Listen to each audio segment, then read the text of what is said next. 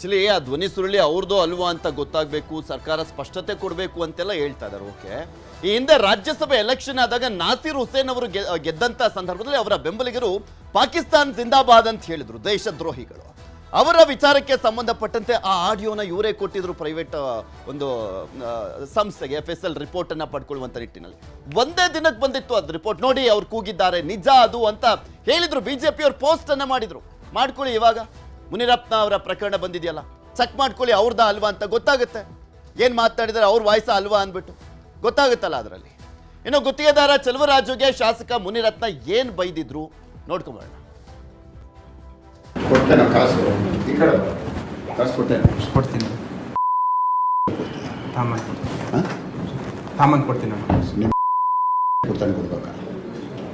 ಅಥವಾ ನೀನು ನನ್ನ ಮನೆಯವ್ರನ್ನ ಬೇರೆ ಬೇರೆ ಕೊಡ್ತೀನಿ ಅಲ್ಲೋ ಬೇರೆ ಬೇರೆ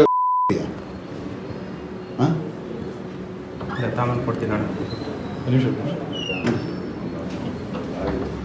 ಏನು ಗೌಡ ತಾನೇ? ಹೌದಾ? ಅಲ್ಲೋ ಯಾಕೋ ಸೇರಿದೆ? ಹಾಂ? ಒಬ್ಬ ಗೌಡ ಆಗಿ ಯಾಕೋ ಸಾಕ್ತೀಯ? ಹ್ಞೂ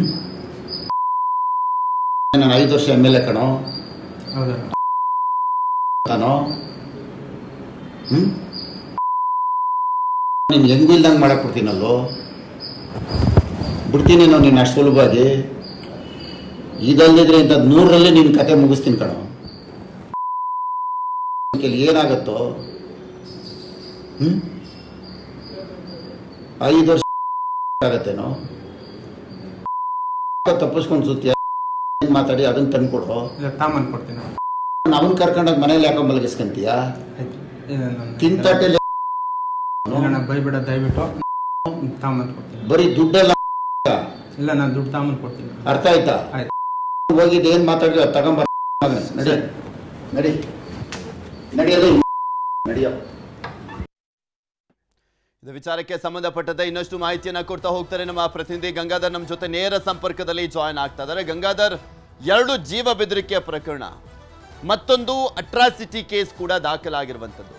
ಎಫ್ ಐ ಆರ್ ಆಗಿರುವಂಥ ಹಿನ್ನೆಲೆಯಲ್ಲಿ ಪೊಲೀಸರು ಬಂಧನ ಮಾಡುವಂತ ನಿಟ್ಟಿನಲ್ಲಿ ಯಾವ ರೀತಿಯಾಗಿ ಸಿದ್ಧತೆ ಮಾಡ್ಕೊಂಡಿದ್ದಾರೆ. ಬಂಧನ ಏನಾದರೂ ಆಗುವಂತ ಸಾಧ್ಯತೆ ಇದೆಯಾ? ಮುನಿರತ್ನ ಅವರನ್ನ ಕಾಂಟ್ಯಾಕ್ಟ್ ಮಾಡುವಂತ ಕೆಲಸ ಏನಾದರೂ ಆಗ್ತಾ ಇದೆಯಾ? ಅರೆಸ್ಟ್ ಆಗ್ತಾರಾ? ಇವತ್ತೇನಾದರೂ? ಪೃಥ್ವಿರಾಜ್ ಮಾಜಿ ಸಚಿವ ಹಾಗೂ ಶಾಸಕರಾಗಿರುವಂತಹ ಮುನ್ರತ್ನ ವಿರುದ್ಧ ಈಗ ವೈಯಲಿಕವಲ್ ಪೊಲೀಸ್ ಠಾಣೆಯಲ್ಲಿ ಎರಡು ಎಫ್ಐಆರ್ ದಾಖಲಾಗಿರುವಂಥದ್ದು. ಒಂದು ಚೆಲುವರಾಜು ದಾಖಲಾಗಿಸುವಂತಹ ಜೀವ ಬೆದರಿಕೆ ಹಾಗೂ ಒಂದು ಅಟ್ರಾಸಿಟಿ ಜೊತೆಗೆ ವೇಲು ನಾಯಕರು ದಾಖಲು ಮಾಡಿರುವಂಥದ್ದು ಜಾತಿ ನಿಂದನೆ ಪ್ರಕರಣ. ಈಗ ಎರಡು ಎಫ್ಐಆರ್ಗೆ ಸಂಬಂಧಪಟ್ಟಂತೆ ಈಗಾಗಲೇ ಚೆಲುವರಾಜು ಮತ್ತು ವೇಲು ನಾಯಕರಿಂದ ಹೇಳಿಕೆಯನ್ನು ಇವಾಗ ವೈಯಲಿಕವಲ್ ಪೊಲೀಸರು ಎ ಸಿ ಪಿಯ ಪ್ರಕಾಶ್ ಅವರ ನೇತೃತ್ವದಲ್ಲಿ ಈಗ ತನಿಖೆಯನ್ನು ನಡೆಸಲಾಗ್ತಾ ಇರುವಂಥದ್ದು. ಈಗ ಆಗ ಸಂಬಂಧಪಟ್ಟಂತೆ ಅವರಿಬ್ಬರಿಂದಲೂ ಕೂಡ ಹೇಳಿಕೆಯನ್ನು ಪಡ್ಕೊಳ್ಳಲಾಗಿದೆ. ಆದರೆ ಈ ಆಡಿಯೋ ಬೆಳಕಿಗೆ ಬರ್ತಾ ಇದ್ದಂತೆ, ಈ ಪ್ರಕರಣ ಬೆಳಕಿಗೆ ಬರ್ತಾ ಇದ್ದಂತೆ ಈಗ ಮುನ್ರತ್ನ ಮೊಬೈಲ್ ಸ್ವಿಚ್ ಆಫ್ ಆಗಿರುವಂಥದ್ದು. ಮತ್ತು ಶಾಸಕರೆಲ್ಲರೂ ಕೂಡ ಯಾರ ಕಣ್ಣಿಗೂ ಕೂಡ ಕಾಣಿಸ್ತಾ ಇಲ್ಲ, ಮತ್ತು ಯಾರಿಗೂ ಕೂಡ ಸಂಪರ್ಕಕ್ಕೂ ಸಿಕ್ಕಿಲ್ಲ. ಈಗ ಬಹುತೇಕ ಬಂಧನವಾಗುವಂಥ ಸಾಧ್ಯತೆಗಳ ಹಿನ್ನೆಲೆಯಲ್ಲಿ ಈಗಾಗಲೇ ಒಂದು ತಂಡ, ಒಂದು ಟೀಮ್ ಈಗ ಮುನ್ರತ್ನ ಅವರ ಹುಡುಕಾಟದಲ್ಲಿರುವಂಥದ್ದು. ಯಾವುದೇ ಕ್ಷಣದಲ್ಲಾದರೂ ಸಹ ಮುನ್ರತ್ನನ ಬಂಧನ ಮಾಡುವಂಥ ಸಾಧ್ಯತೆಗಳಿರುತ್ತೆ. ಈ ನಿಟ್ಟಿನಲ್ಲಿ ಹಿರಿಯ ಅಧಿಕಾರಿಗಳ ಒಂದು ಸೂಚನೆ ಹಿನ್ನೆಲೆಯಲ್ಲಿ ಈ ಪ್ರಕರಣವನ್ನು ಗಂಭೀರವಾಗಿ ಪರಿಗಣ ಪರಿಗಣಿಸಲಾಗಿರುವಂಥದ್ದು ಯಾಕಂದರೆ ಒಂದು ನಿಟ್ಟಿನಲ್ಲಿ ಈ ಒಂದು ಆಡಿಯೋ ಏನಿದೆ, ಇದು ಯಾವ ಸಂದರ್ಭದಲ್ಲಿ ರೆಕಾರ್ಡ್ ಮಾಡಲಾಗಿರುವಂಥದ್ದು ಮತ್ತು ಈ ಒಂದು ಘಟನೆ ನಡೆದಿರುವಂಥದ್ದು ಯಾವ ಸಂದರ್ಭದಲ್ಲಿ ಅನ್ನೋದು ಕೂಡ ಆ ಬಗ್ಗೆ ಪರಿಗಣ ಗಂಭೀರವಾಗಿ ತೆಗೆದುಕೊಂಡು ಇನ್ವೆಸ್ಟಿಗೇಷನ್ ಮಾಡಲಾಗ್ತಾ ಇರುವಂಥದ್ದು ಜೊತೆಗೆ ಈಗ ಆಡಿಯೋವನ್ನು ಈಗಾಗಲೇ ಫಾರೆನ್ಸಿಕ್ ಒಂದು ಲ್ಯಾಬಿಗೆ ಕಳಿಸಲಾಗಿರುವಂಥದ್ದು ಅದರ ಸಾಮ್ಯತೆಯನ್ನು ಕಂಡುಹಿಡಿಯುವ ನಿಟ್ಟಿನಲ್ಲಿ ಈಗ ಅವರಿಂದ ಹೇಳಿಕೆಯನ್ನು ದಾಖಲು ಮಾಡಿಕೊಂಡಿದ್ದಾರೆ. ಒಂದು ಯಾವ ಯಾವ ಸಮಯದಲ್ಲಿ ಹೋದಂಥ ಸಂದರ್ಭದಲ್ಲಿ ಅಲ್ಲಿ ಘಟನೆ ಆಗಿದೆ, ಅಲ್ಲಿ ಬೈಗುಳವನ್ನು, ಅಂದರೆ ಜಾತಿ ನಿಂದನೆ ಮಾಡಿ ಬೈದಿರುವಂಥದ್ದು ಜೀವ ಬೆದರಿಕೆಯನ್ನು ಹಾಕಿದ್ದಾರೆ ಅಂತ ಏನೋ ಒಂದು ಆರೋಪ ಮಾಡಲಾಗಿದೆ. ಅದು ಒಂದೇ ಬಾರಿ ಹೋಗಿರುವಂಥ ಸಂದರ್ಭದಲ್ಲಿ ಆಗಿರುವಂಥದ್ದು ಅಥವಾ ಬೇರೆ ಬೇರೆ ಸಂದರ್ಭದಲ್ಲಿ ಹೋದಂಥ ಘಟನೆ ಆದಿದ್ದ ಅನ್ನೋದ್ರ ಬಗ್ಗೆ ಕೂಡ ಇನ್ವೆಸ್ಟಿಗೇಷನ್ ಮಾಡಲಾಗ್ತದೆ. ಆ ಬಗ್ಗೆ ಚಲುವರಾಜ್ ಗುತ್ತಿಗೆದಾರನಾಗಿರುವಂಥ ಚೆಲುವರಾಜಿನಿಂದ ಕೂಡ ಮಾಹಿತಿಯನ್ನು, ಹೇಳಿಕೆಯನ್ನು ದಾಖಲು ಮಾಡುವಂಥ ಪ್ರಯತ್ನವನ್ನು ಪೊಲೀಸರು ಮುಂದಾಗಿರುವಂಥದ್ದು ಇವತ್ತು ಮುನ್ರಾತ್ ಅವರ ಮನೆಗೆ ಚೆಲುವರಾಜ್ ಅವರನ್ನು ಕರ್ಕೊಂಡು ಹೋಗಿ ಇವತ್ತು ಹೇಳಿಕೆಯನ್ನು ದಾಖಲು ಮಾಡ್ಕೊಂಡಿದ್ದಾರೆ. ಅಲ್ಲಿ ಕೆಲವು ಪ್ರೊಸೀಜರ್ಗಳನ್ನು ಕೂಡ ಮಾಡ್ಕೊಂಡಿದ್ದಾರೆ.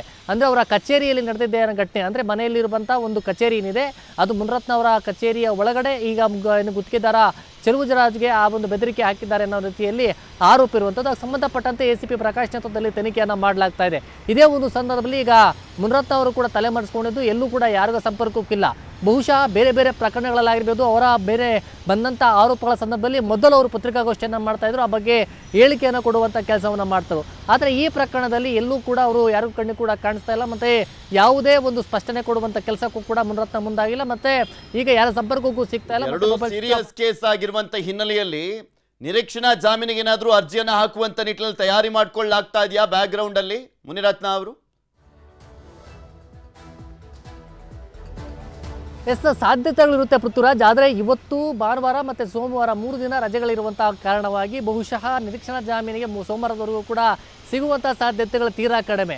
ಆ ನಿಟ್ಟಿನಲ್ಲಿ ಒಂದು, ಆ ಒಂದು ಕಾನೂನು ತಜ್ಞರ ಅಂದರೆ ಏನು ವಕೀಲರ ಒಂದು ಸಂಪರ್ಕವನ್ನು ಈಗಾಗಲೇ ಅವರು ಮುನರತ್ನವರು ಮಾಡಿರ್ತಾರೆ, ಅವರ ಒಂದು, ಆ ಸಲಹೆಯನ್ನು ಕೂಡ ತೆಗೆದುಕೊಂಡಿರ್ತಾರೆ. ಯಾಕಂದರೆ ಮೂರು ದಿನಗಳ ರಜೆ ಒಂದು ಇರುವಂಥ ಹಿನ್ನೆಲೆಯಲ್ಲಿ ಇನ್ನು ಅವರು ಪ್ರೊಸೀಜರ್ ಅಂದರೆ ನಿರೀಕ್ಷಣ ಜಾಮೀನಿಗೆ ಮಂಗಳವಾರ ಏನೇ ಸಲ್ಲಿಕೆಯನ್ನು ಮಾಡಬೇಕಾಗುತ್ತೆ. ಇಂಥ ಒಂದು ಸಂದರ್ಭದಲ್ಲಿ ಯಾಕಂದರೆ ಒಂದು ಕ್ಷಣದಲ್ಲಿ ಏನಾದರೂ ಪೊಲೀಸರಿಗೆ ಸಿಕ್ಕರೆ ಮೂರು ದಿನಗಳವರೆಗೂ ಕೂಡ ಅವರು, ಆ, ಏನು ಪರದಾಡುವಂಥ ಪರಿಸ್ಥಿತಿ ಇರುತ್ತೆ, ಪೊಲೀಸರಿಗೆ ಸಿಕ್ಕಾಕೊಂಡು ಅರೆಸ್ಟ್ ಆಗುವಂಥ ಸಾಧ್ಯತೆ ಇರುತ್ತೆ. ಹೀಗಾಗಿ ತಲೆಮರೆಸ್ಕೊಂಡು ಮಂಗಳವಾರ ನಿರೀಕ್ಷಣಾ ಜಾಮೀನನ್ನು ಪಡ್ಕೊಂಡು, ಆನಂತರ ಕಾಣಿಸ್ಕೊಳ್ಳುವಂಥ ಒಂದು ಪ್ಲಾನನ್ನು ಕೂಡ ಮುನ್ರತ್ನ ಅವರು ಮಾಡಿರ್ಬೋದು. ಆ ಬಗ್ಗೆ ವಕೀಲರ ಸಂಪರ್ಕದಲ್ಲೂ ಕೂಡ ಇರ್ಬೋದು. ಈ ನಿಟ್ಟಿನಲ್ಲಿ ಪೊಲೀಸರು ಕೂಡ ಅವರ ತಂಡ ಏನಿದೆ, ಅದು ಮುನರತ್ನ ಅವರನ್ನು ಹುಡುಕುವಂಥ ಕೆಲಸವನ್ನು ಮಾಡಲಾಗ್ತಾ ಇದೆ. ಆದರೆ ಒಂದು ವೇಳೆ ಸಿಕ್ಕದ ಸಂದರ್ಭದಲ್ಲಿ ಕೂಡ ಅವರನ್ನು ವಶಕ್ಕೆ ಪಡೆಯುವಂಥ ಕೆಲಸವನ್ನು ಪೊಲೀಸರು ಮಾಡಲಿದ್ದಾರೆ ಪೃಥ್ವಿರಾಜ್. ಓಕೆ ಧನ್ಯವಾದ ಗಂಗಾಧರ್, ನಿಮ್ಮೆಲ್ಲ ಮಾಹಿತಿಗಾಗಿ.